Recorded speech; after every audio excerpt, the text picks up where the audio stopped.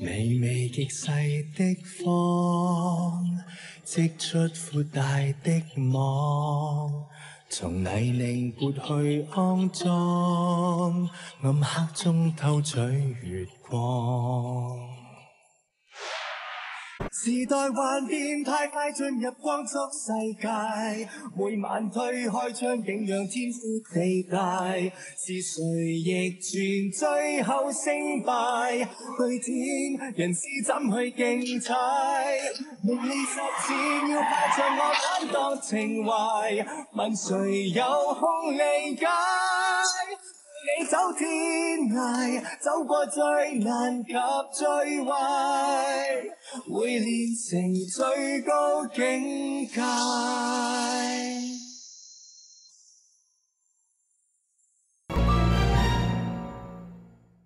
Sao hả? Vợ anh chửi tôi vẫn chưa đủ vốn Bây giờ đích thân anh tới chửi tôi thêm một trận sao Giờ tôi bị sốt, ăn nói lung tung thôi, anh đừng tưởng thật, lý nào tôi không làm. Anh muốn làm cũng không được làm nữa Hôm nay anh bỏ việc mà Anh Quyền à, đừng làm lớn vậy nữa. Tại anh kêu tôi nghỉ phép đi cắm trại mà. Tôi lặp lại với anh một lần nữa Tôi có kêu anh nghỉ phép đi Chứ không phải tôi cho anh nghỉ để đi Hôm nay anh không ghi giấy nghỉ phép Tức là bỏ việc Có thể đuổi ngay Bỏ việc cùng lắm bị trừ lương thôi, anh không thể đuổi tôi được.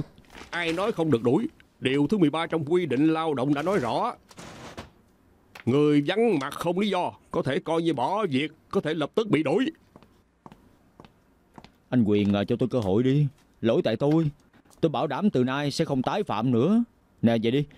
Tôi đi nói với ông chủ giải thích chuyện bản báo cáo ha. Tôi còn tạo cơ hội cho anh tiếp cận ông chủ để chọc gậy tôi hay sao Đi chỗ khác đi Muốn thế chỗ của tôi hả Làm ơn đi Thật tình tôi không định thế chỗ của anh đâu. Tôi siêng năng làm việc cũng chỉ muốn được lên chức thôi. Anh đã nói mà. Anh sẽ cho tôi lên chức làm điều tra viên cao cấp thứ nhất mà. Tôi nói thì anh tin sao Thực tế trong công ty không có chức đó đâu Cái đồ ngốc Anh lừa tôi sao? Bây giờ tôi không thể lừa anh hay sao Được. Bây giờ tôi từ chức. Một tháng sau tôi sẽ đi. Nè Điều thứ 14 trong quy định lao động Bỏ việc có nghĩa là tự động bỏ việc Công ty có thể truy thu một tháng tiền tìm người của anh Tức là anh phải bồi thường một tháng tiền lương cho công ty Anh còn dám kêu tôi bồi thường cho công ty sao? Nè Tôi nói cho anh biết. Tôi biết luật nữa nha. Điều lệ hình sự. Không biết điều thứ mấy. Trong cơn thịnh nộ. Lỡ tay đánh người khác cùng lắm chỉ bị tội ngộ sát thôi. bình tĩnh Anh thử kêu tôi bồi thường đi. Anh thử không trả tiền lại cho tôi đi. Chỉ có vậy thôi. Ờ không phải không phải không phải công ty bồi thường một tháng cho anh công ty bồi thường thiệt mà tôi nói thiệt ờ, ờ, ờ, Gọi điện thoại đi. ờ, gọi gọi gọi gọi gọi ờ gọi gọi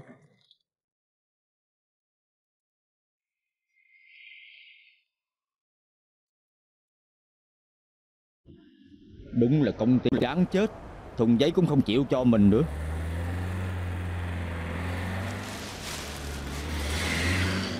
À, sao biết đáng chết này bỏ trạm? Có nhân tính không vậy?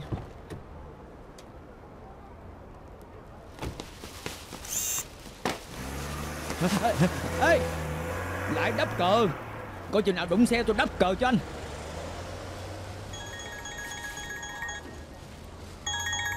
Alo em hả? Alo anh hả? Sao rồi? Có giữ được công việc này không? Giữ cái gì Gã hẹn đó bấy lâu không định cho anh lên chức Chỉ lừa gạt anh thôi. Anh đã quyết định không làm nữa. Chết rồi tất cả tại em hết. Chửi ông té tát như vậy. Không có liên quan gì em. Cũng may em chửi một trận thôi Nếu không còn lỗ hơn nữa. Lúc nãy á, ổng gần như không chịu bồi thường cho anh một tháng đó. Anh định đập ổng một trận. Ê, Bây giờ tương lai mờ mịt Không biết chừng nào mới tìm được việc nữa. Không sao đâu. Còn tiền lương của em bù đắp mà. Mọi chuyện đâu là vào đó thôi. Anh sợ chuyện chưa tới đâu Thì anh đã thẳng cẳng rồi. Không phải là biển rộng trời cao xa lộ thanh thang mà anh lái. Anh tranh thủ về nhà đi Em và con lập tức về nhà ngay. Em sẽ nấu món ngon cho anh ăn. Chúc mừng anh thoát khỏi bể khổ chịu không Cha cứ quyết định vậy đi. Được rồi bye bye chồng yêu. Bà thất nghiệp trời còn ăn món ngon hả? Đây thật sự là thôn Bích Điền sao? Sao hoàn toàn thay đổi vậy? Vợ và con của tôi đâu? Hả?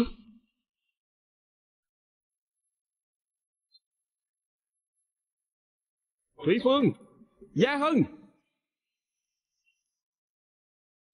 Thời kỳ đầu của thế kỷ 19 thôn này đã tồn tại ở đây rồi. Bây giờ trở thành di tích lịch sử cấp 1 đó. Nhưng mà sau đó, bắt đầu từ năm 1960, dân làng ở đây đã dần dần dọn ra ngoài sống. Cho đến gần Nè đây... á- bạn, anh bạn, như vậy nói có phải thật không? Họ dọn đi đâu hết vậy? Nè, chuyện đó tôi cũng không rõ cho Lý lắm. nào anh không rõ chứ? Anh giải thích rõ ràng vô cùng. Anh nói cho tôi biết, họ dọn đi đâu đi, hả? Tôi... ờ, Thật tình tôi không biết, anh đi hỏi người khác đi. Các bạn trong đoàn chúng ta vô trong tham quan đi. Không phải, dạ của tôi tên Liêu Thị Phương, gia đình tôi sống ở đây mà. Anh bạn, anh làm ơn nói cho tôi biết đi.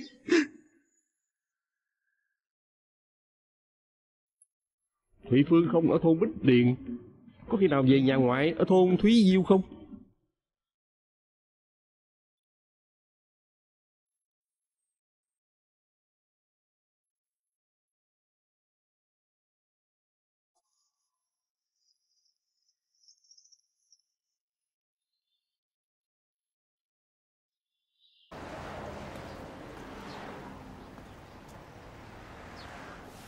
Các vị khán giả, tới lượt người đi đường thứ 13 rồi đi nè. Để coi họ có lượm tiền. Rồi đi nữa hay không vậy?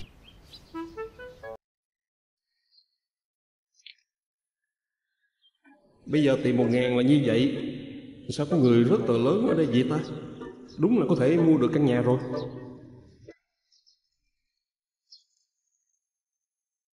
Ủa, anh ta làm gì vậy? Lượm được tiền cũng không lấy, bỏ lại xuống đất lạ vậy sao?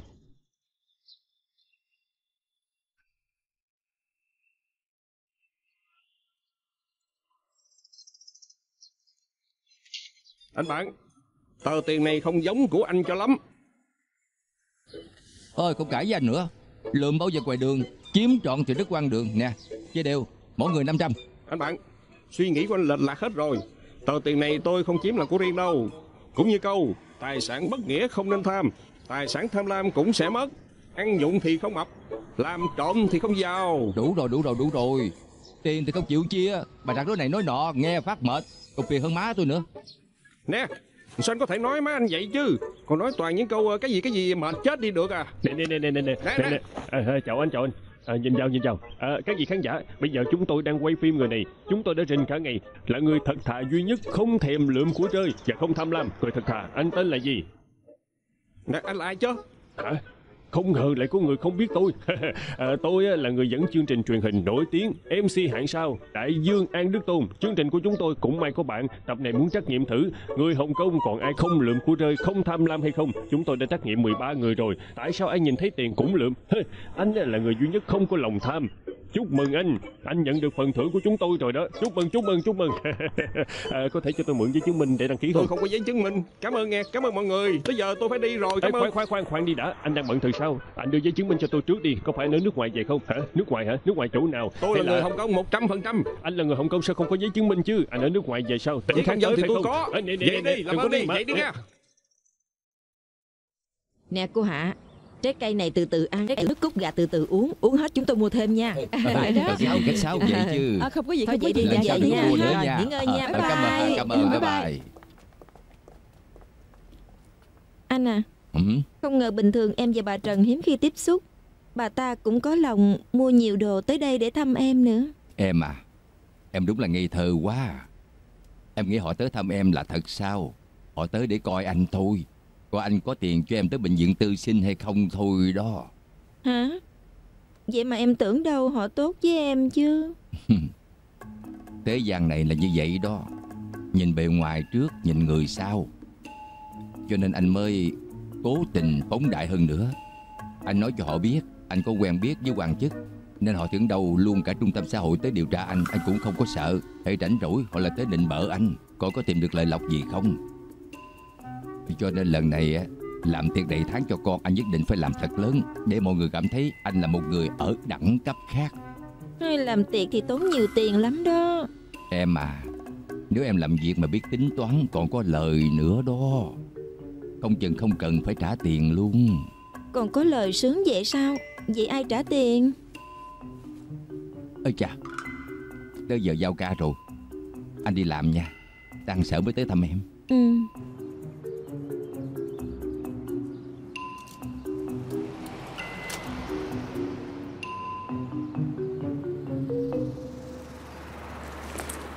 Trời anh Bình. Bửu Tới lâu rồi hả Trời ơi sao anh trễ vậy? Sao lại hẹn tôi tới đây giao ca chứ? Sao muốn chết à? Vừa mới thăm người bạn thôi. Sao hả? Có đói bụng không? Để uống trà chiều với cô xong mới làm việc đi. Trà chiều cái gì? Anh phải mời tôi ăn ngon thì đúng hơn. Bởi vì lần trước quỹ đầu tư tôi mua với anh Tăng lên gấp đôi lận á. Anh coi đi. Nè nè nè nè nè nè. Làm gì vậy? Trời ơi cô lấy sổ ra làm cái gì chứ Tới nhà cô coi là được rồi. Ây, Kiếm được chút tiền vui vẻ Đương nhiên muốn cho anh coi một lát rồi. Nè nhưng mà bây giờ chúng ta quen thì quen Cũng phải rõ ràng hay hơn. Giá nào tôi cũng phải có sự trình bày với anh Tôi mới yên tâm được. Tôi tin tưởng cô mà. Gần đây trung tâm xã hội Theo dõi tôi chặt chẽ dữ lắm. Lỡ cho họ biết tôi có nhiều tiền ở chỗ cô Thì thảm lắm. Hay là lên xe trước đi Đi. Ây. Ây, Không hiểu tại sao lại đen đuổi như vậy. Dù sao nhớ lại năm xưa khi tôi biết anh Anh cũng là một giám đốc mà Còn thường xuyên thay công ty đi công tác ở Canada. Đó do khủng hoảng tài chính làm cho thua sạch hết tiền. Bây giờ còn chạy đi lừa tiền trợ cấp nữa. Nè nè nè Đừng nói chữ lừa khó nghe vậy nữa. Lúc trước tôi nộp rất nhiều tiền thuế cho chính phủ Hồng Kông rồi. Không biết là bao nhiêu việc thiện ở hậu đua ngựa. Bây giờ không có ổn. Lấy lại chút tiền cũng là chuyện vô cùng công bằng thôi. Vô cùng công bằng sao lại lén lút thập thò chứ Thì tìm không gian sinh tồn trong môi trường ám đạm thôi. Chính phủ giàu như vậy á, tôi cũng không ngại Vì tiền hại người lấy lại chút đỉnh thôi mà. Nếu anh dựa vào tiền trợ cấp sống ổn định Thì anh cũng đâu cần lái taxi. Nè nè nè nè Tôi lái taxi cũng vì giúp cô thôi.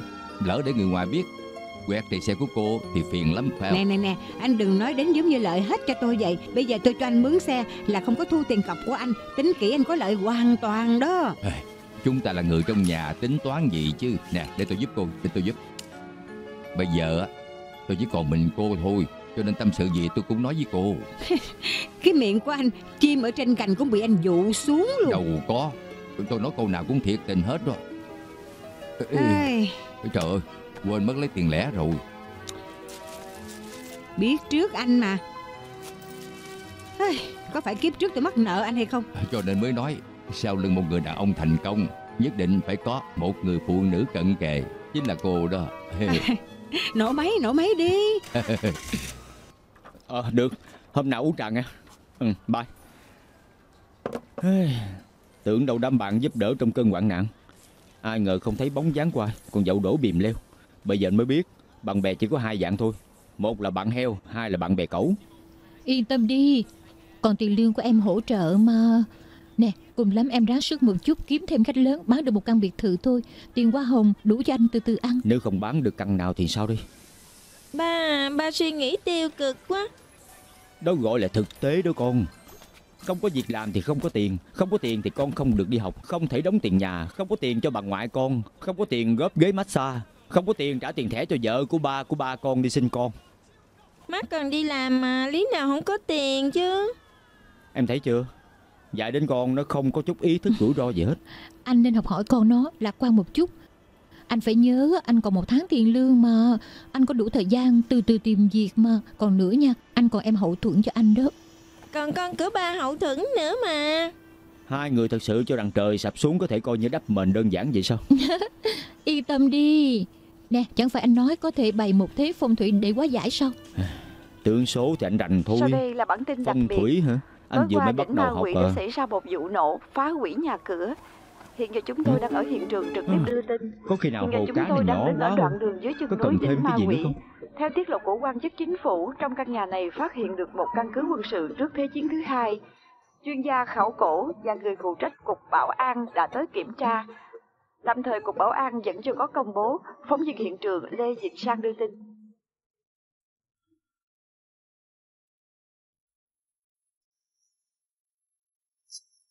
Không lẽ đem bỏ phí vậy sao? Nè ông chủ. À, Không biết là ông có thể Đương nhiên là không thể rồi. Mau đi đây Đây đây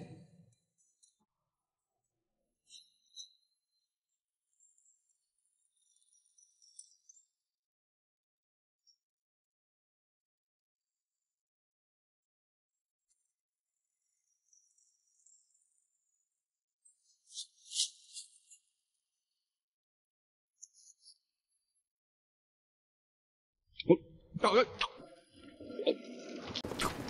Sao bánh khó ăn quá vậy?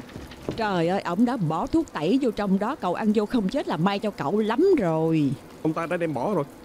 Tại sao còn bỏ thuốc tẩy vô chứ? Ai cũng giống như cậu vậy Lượm bánh mì của ổng về ăn á Vậy thì ổng làm sao buôn bán được? Ổng không bỏ thuốc diệt chuột Coi như có lương tâm lắm rồi.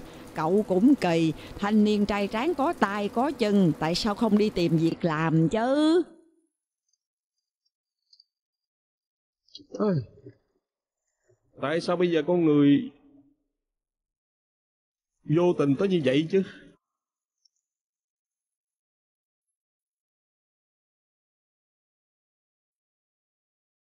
À. À. Đói bụng quá à. Làm sao để chịu đựng được tới thôn Thúy Diêu đây à. Chịu được mà mình nhất định chịu được. Có phải anh đói bụng không? Mời anh ăn nè. Hả? Thật sao? Không cần tiền, phát thôi. À, Cảm ơn cô nhiều lắm. Cô ở hội từ thiện nào vậy? Ờ, cái đó ít đường lắm. Cái này không đường nè. Có phải anh thích ăn không? Anh lấy hết luôn đi. Tôi phải tranh thủ tan ca rồi. Tan ca? Chúng tôi đang làm quảng cáo. Đúng lúc không ai lấy. Cho nên tôi phải đi phát hết mới được. Ở đây tôi còn rất nhiều. Dù sao tôi cũng sắp tan ca. Hay là anh lấy hết luôn đi. Tặng hết cho anh. Cảm ơn nha. Bye bye Thế gian bây giờ đúng là kỳ lạ. Một là đem bỏ cũng không chịu cho mình.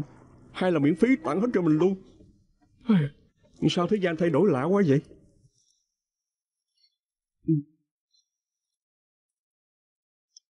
Em à Gia Hân Anh phải làm sao mới có thể tìm được hai người?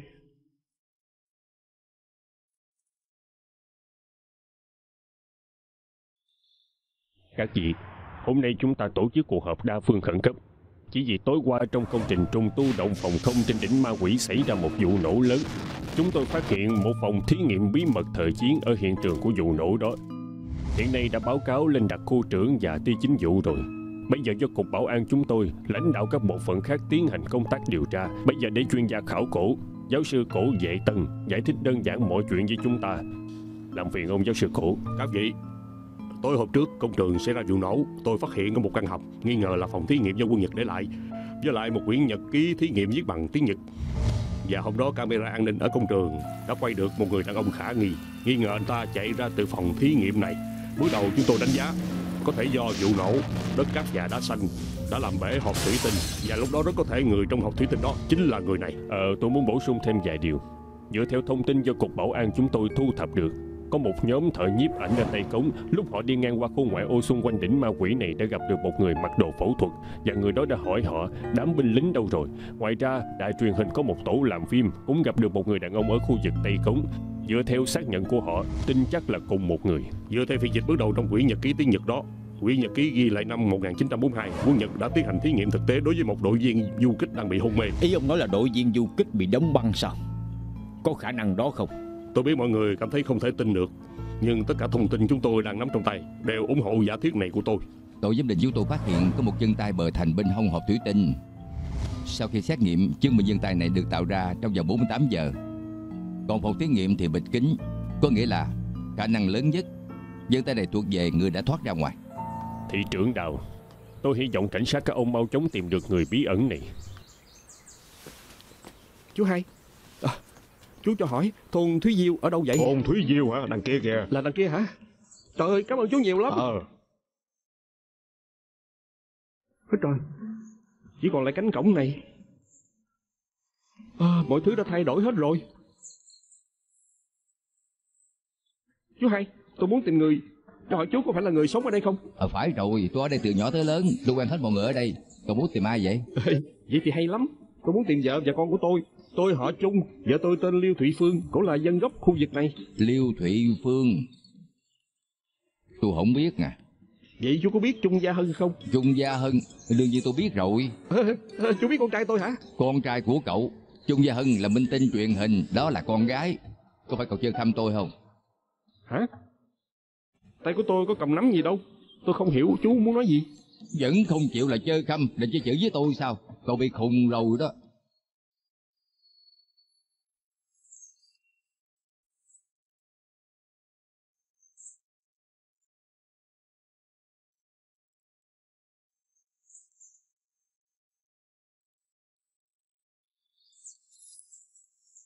Nè, nè anh bạn, anh bạn. Tôi muốn tìm một người ở năm 1942, người đó sống ở đây, anh có thể giúp tôi không? Trời ơi, anh hỏi chuyện xưa như trái đất vậy, tới thư viện mà hỏi đi. Bây giờ chúng tôi không có học môn lịch sử này đâu. À, sau năm 1945, Hồng Kông xảy ra nhiều chuyện lớn như vậy. Không uổng công những nỗ lực mình cống hiến. Kháng chiến đã thật sự thành công.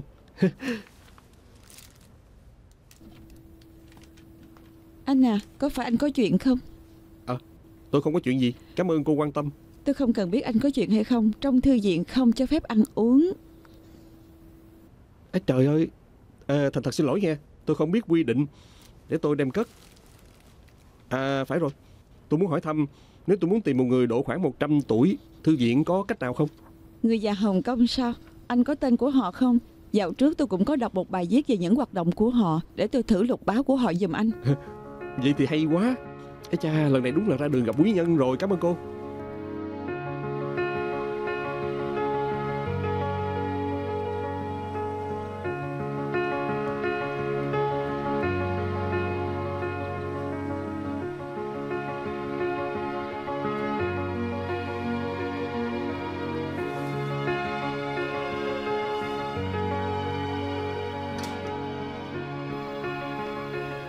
Nè ba Mau tiếp khách đi.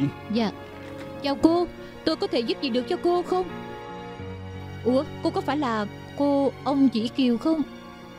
Phải đó. Chào cô cô ông. Tôi là giám đốc ở đây nè. À, Xin chào. Có chuyện gì không? Tôi có chuyện quan trọng muốn tìm sư phụ Long. Cậu có chuyện quan trọng á. Cậu có hẹn trước không? Tôi không có. Tôi muốn tìm sư phụ Long gấp để soi sáng chỉ dẫn. Cậu cần lấy soi gấp sao? Vậy là cái soi gì? Ba ba Bây giờ cô hiểu chưa Dạ biết sư phụ Long. Sư phụ Long. Hai người đem đồ đi cất trước Dạ. đi. À dạ. À, Sư phụ Long à. À phải. Cậu này nói tranh thủ tới lấy soi gấp Đưa soi gì cho cậu ta đây. Ừ, Không phải cái soi. Tôi muốn sư phụ soi sáng chỉ dẫn thôi. Được rồi. Vô trong luộc dắt mì cho con ăn. Ở đây con sẽ xử lý. Ờ. Sư phụ à. Nè anh đăng ký lớp quyền học mà Tới lớp anh mới hỏi sư phụ Long đi. Hôm nay sư phụ bận lắm đó Lịch hẹn kín hết rồi Lại có giờ trước đi. Tôi không thể chờ được.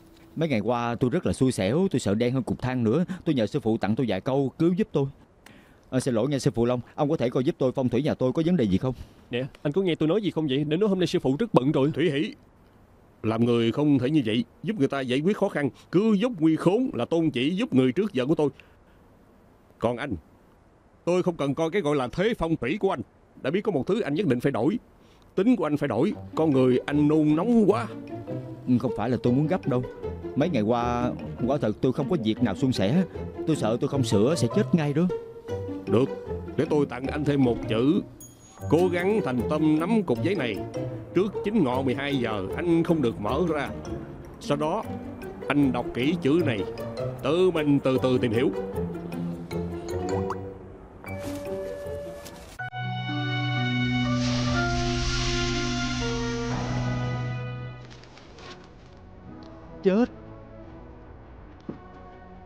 Tôi muốn tìm con đường sống thôi Cần gì phải viết chữ chết cho tôi.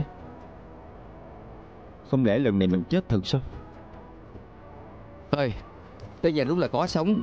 Cả ngàn người dành một chỗ Mỗi tháng hai mấy ngàn. Anh có hứng thú không? Nhưng phải giành việc nhau đó. Trời đối mặt với xác chết hả? Sợ chết được đó. Việc nhà xác Xác chết. Không lẽ đây là gợi ý mà sư phụ Long đưa cho mình sao Lao vào chỗ chết để hồi sinh.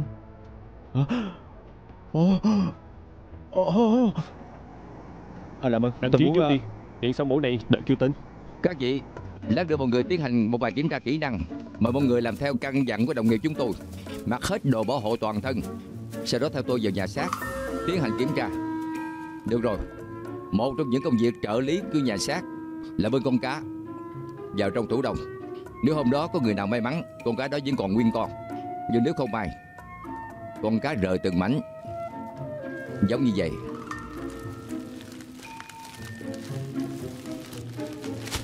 Không biết có phải vì thử thách mọi người không? Tối qua có một vụ xã hội đen chém giết. Mọi người có cơ hội chơi mảnh ghép. Cậu thăng, cậu tài. Đổ hết mảnh ghép ra cho họ thử từ từ đi.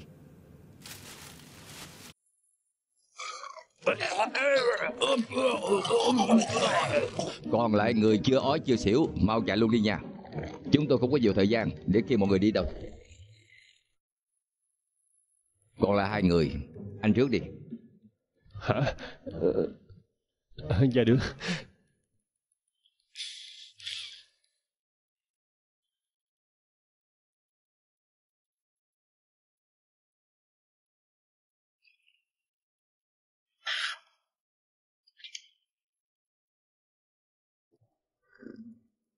Tất cả chạy hết rồi. Chỉ còn lại anh thôi. Có được không? Được.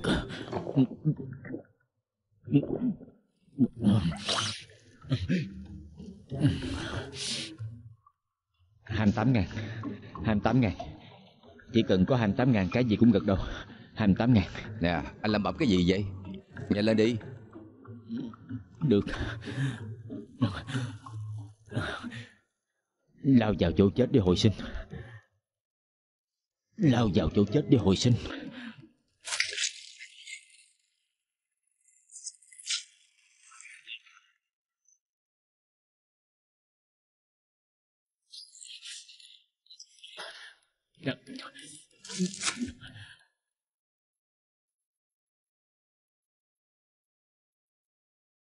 Không cần làm chỉnh chu gì vậy đâu. Họ không khiếu nại anh đâu mà. Tôi ok không? Còn lại có mình anh thôi Không ok cũng không được. Nè để mai thông báo cho anh đi làm.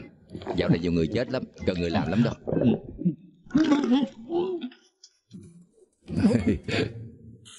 Sao rửa hoài cũng còn mùi hôi Anh nợ Đừng có làm nữa. Ngày nào cũng đối diện với xác chết Bộ vui lắm sao? Kiếm gì khác làm đi anh.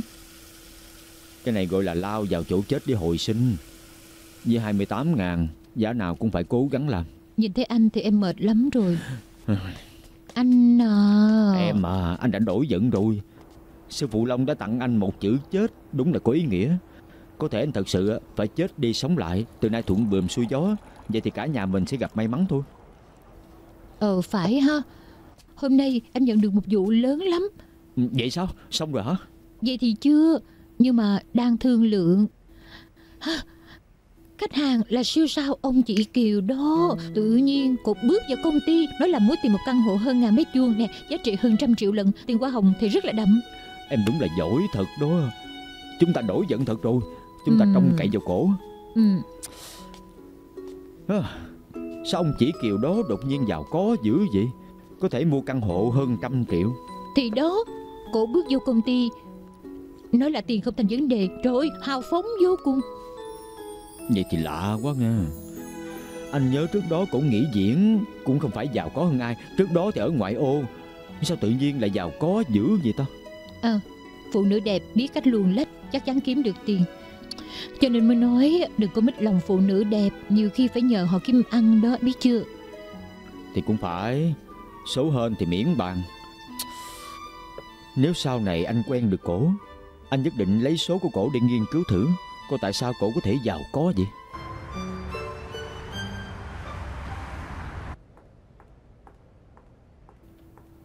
Hello chào cô, cho hỏi cô tìm ai? Ờ, tôi muốn tìm của ông Chỉ Kiều, tôi là chị của cổ. À, cô ông đã dặn trước rồi, mời theo tôi qua bên này. Cảm ơn.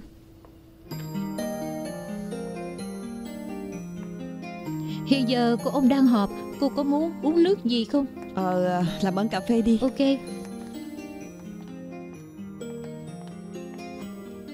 Công ty đầu tư chẳng phải chỉ một cổ phiếu thôi sao? Hợp gì chứ?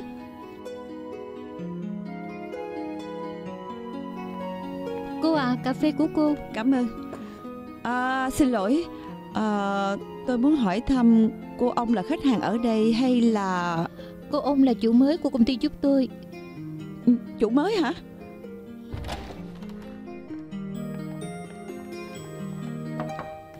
Ông à Có một cô tới tìm cô À, chào bà chủ ông, họp xong rồi sao?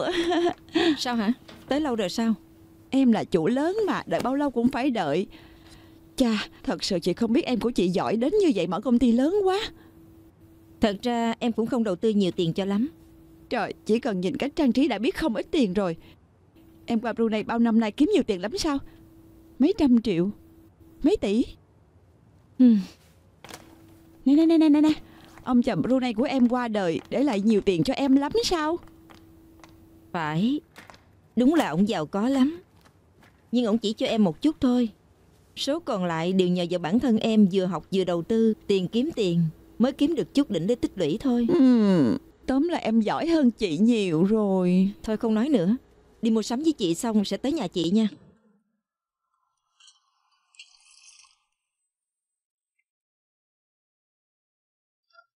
À, Aki, dì con tới rồi. À, con xin chào dì, mời ngồi. Phải, tự nhiên ngồi đi. Ừ. Được.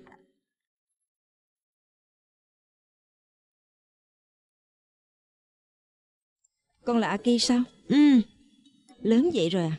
Ừ, năm nay 28 tuổi rồi. Lịch sự lắm, rất xinh đẹp. Làm gì có? Ủa cái xanh, ừ? sắp tới 8 giờ rồi. À, Hết giờ. Vậy con tiếp gì dùm má trước nha. Nè, em còn một lát, chị sẽ ra ngay.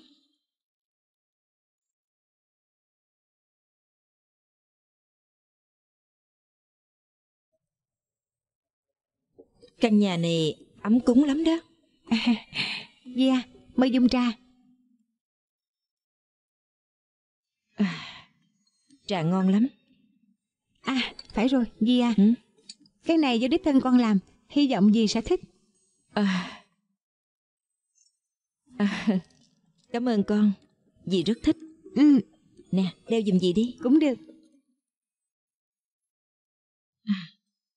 Con làm thật sao? Ừ, Đẹp lắm, rất tinh xảo. Ê, con của chị làm thủ công giỏi lắm, đồ đặt trong nhà đều do nó làm hết á. Chà, giỏi vậy sao?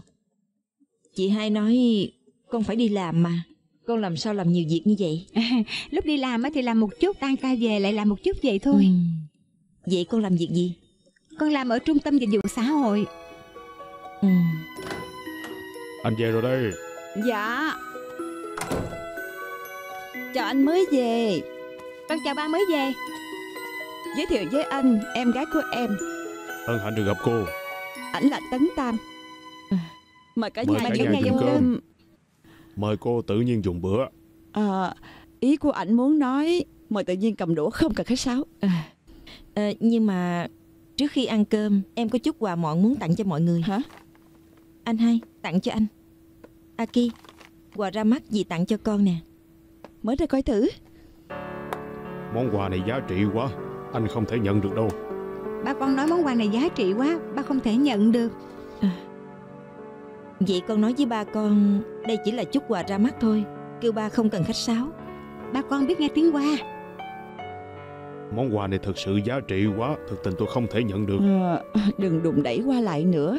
Anh từ chối em của em như vậy. Nó cảm thấy nó là người nước ngoài sẽ không vui đâu. Anh cứ nhận đi. Anh không nhận con nó cũng không nhận đâu. Mau nhận đi.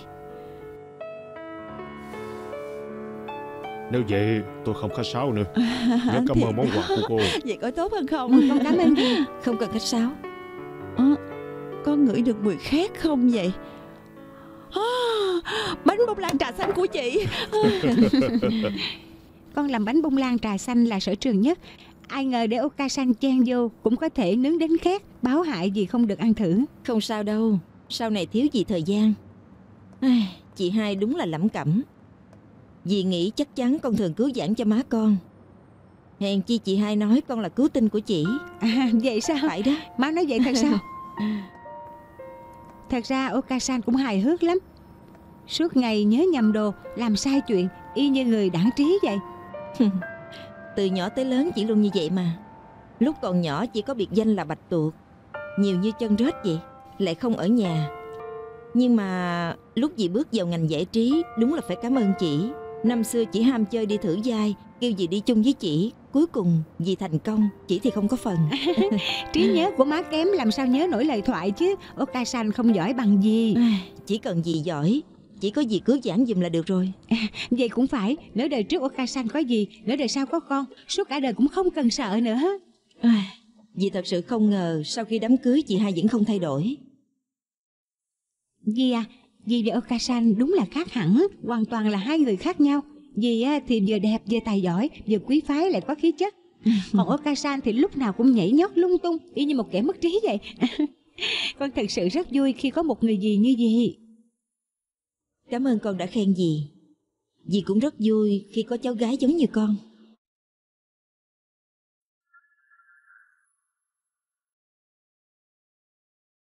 Cảm ơn dì hôm nay đã nể mặt tới nhà con. Còn nữa, cảm ơn món quà của dì. Hy vọng từ nay chúng ta có thể thường xuyên gặp mặt. Phải đó, chúng ta phải thường xuyên gặp mặt. Ừ, Bye bye. bye bye.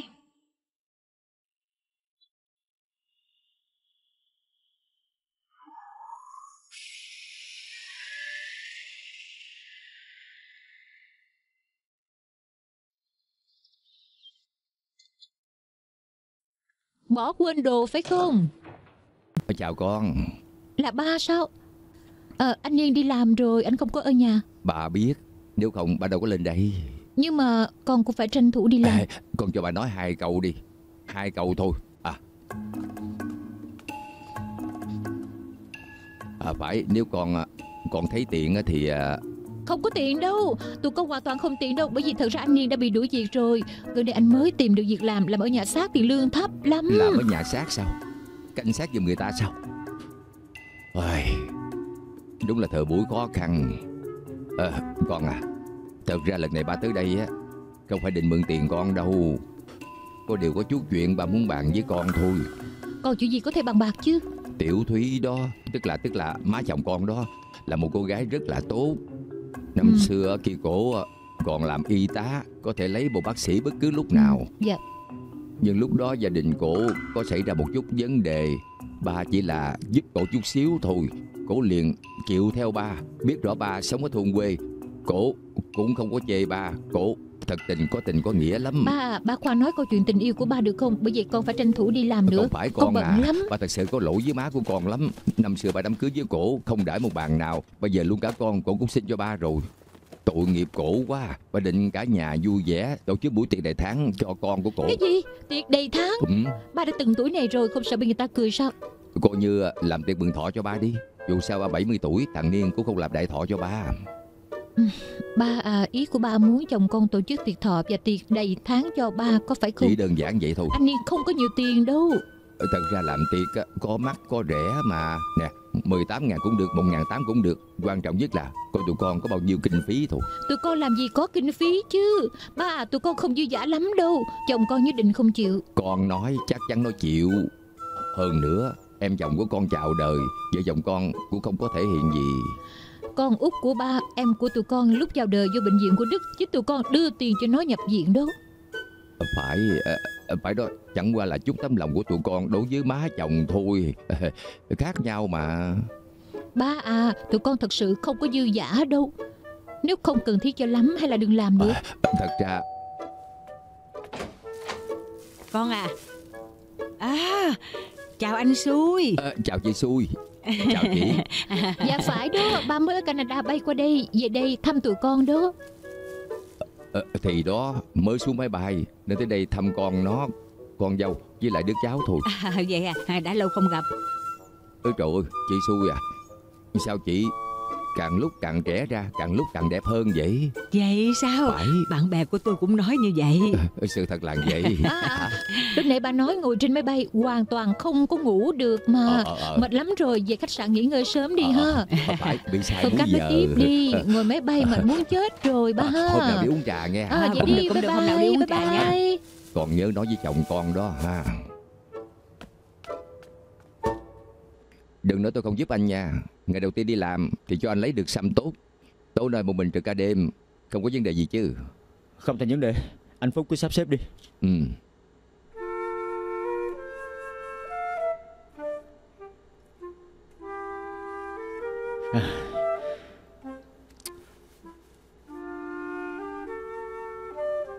Ừ, Đâu cần yên lặng dữ vậy.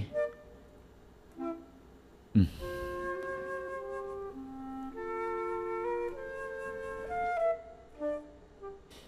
Đừng tự hù dọa mình. Kiếm chút việc làm đi.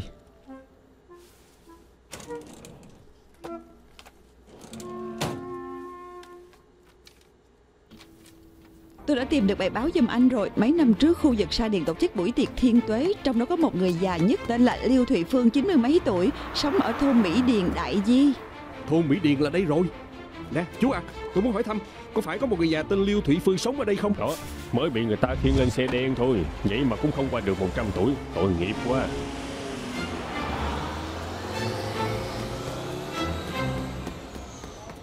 Chân mài giao nhau từng đoạn một.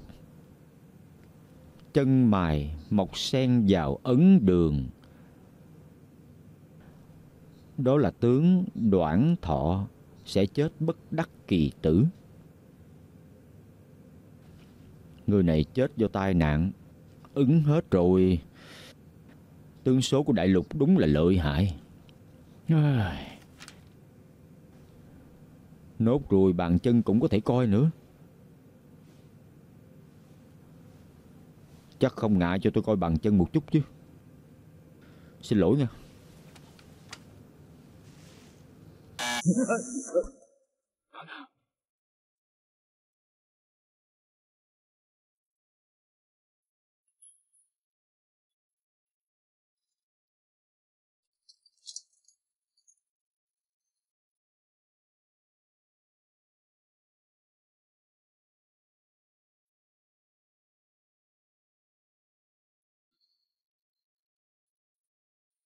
Ờ xin lỗi nha. Đau bụng quá. Đi vệ sinh chút đã.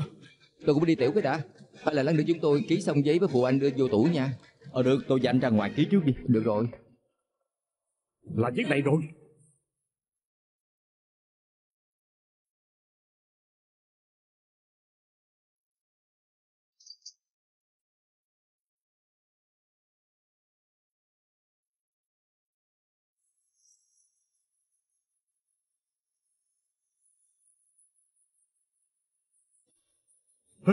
Em ơi! Anh xin lỗi em. Nè Anh làm gì ở đây? Anh đừng lên cơn ở đây nha. Anh đi đi. Đã lâu tôi không gặp cổ Cho tôi gặp cổ một lát đi. Anh đi giùm đi. Đi đi. Anh muốn cấp sát sao? Anh bỏ xuống đi. Dừng lại đi. Bỏ xuống ngay. Đó vợ tôi. Đi Bỏ xuống ngay. Bỏ xuống ngay. Anh buông ra đi. Vợ của tôi.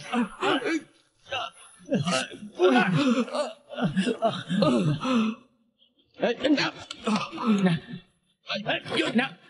Ê, Buông ra. Anh đi rồi sao? Làm gì vậy? Đậu tôi Đậu tôi Buông ra. Ra Em ơi. Hả? Trời ơi. Sao là ông vậy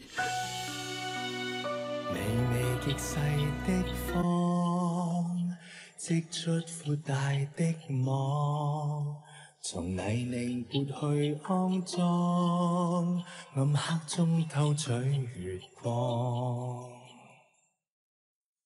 時代幻變太快，進入光速世界，每晚推開窗景，仰天地大，是誰逆轉，最後勝敗，對天人是怎去競猜？